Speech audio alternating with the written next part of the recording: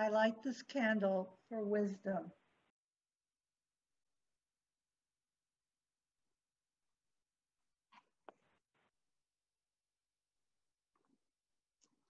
Wisdom is like an eternal lighthouse within us, faithfully guiding and always supporting us in spiritual understanding, which leads to taking right action.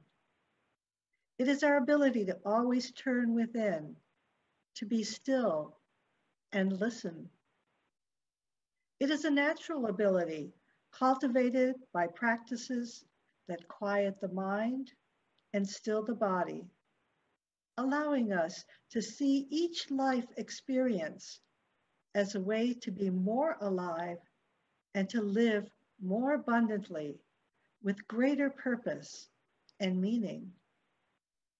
Ultimately, our greatest reward and gift from the power of wisdom is healing joy.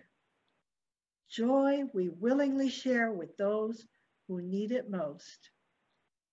When we dive into the infinite ocean of wisdom, always and everywhere present, we begin to know more, see more, and be more of our divine nature as a gift for the world.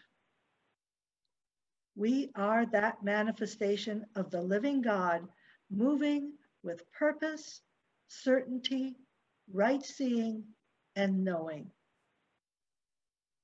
Now imagine something in life that needs your attention and direction and affirm every day, in every way, the light of wisdom illumines my path.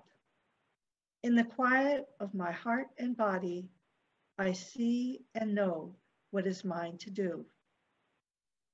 So now let's say that together in the stillness of your heart every day, in every way. The light of wisdom illumines my path.